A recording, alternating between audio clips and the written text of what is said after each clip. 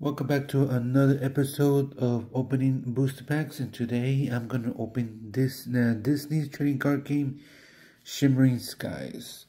I'll be real with you, this is my first time opening a Disney booster pack. And I heard this booster pack is good. Nice. This came, this is still new, this came on uh, August 9th of this year. So, that, let's see what, what, what we have for today. Oh, there.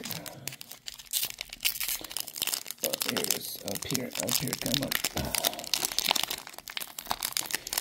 Again, we're struggling with opening these packs.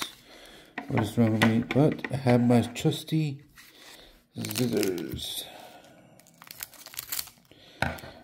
Let's see what we have for today. Like I said, is my first time opening a booster pack for Disney, so I'm new to these Disney cards. Okay. Alright, let's see what we have here.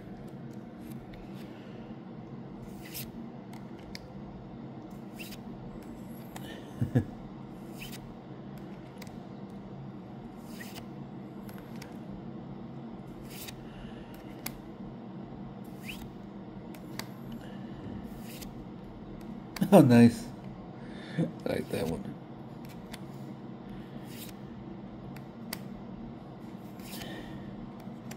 Oh, swoop. And our favorite character, uh, uh, Donald Duck.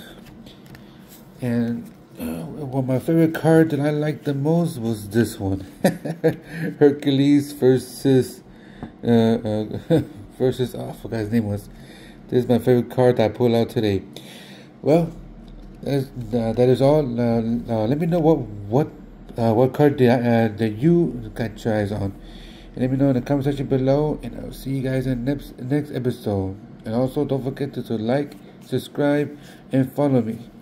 And I'll see you guys on the next episode. Laters.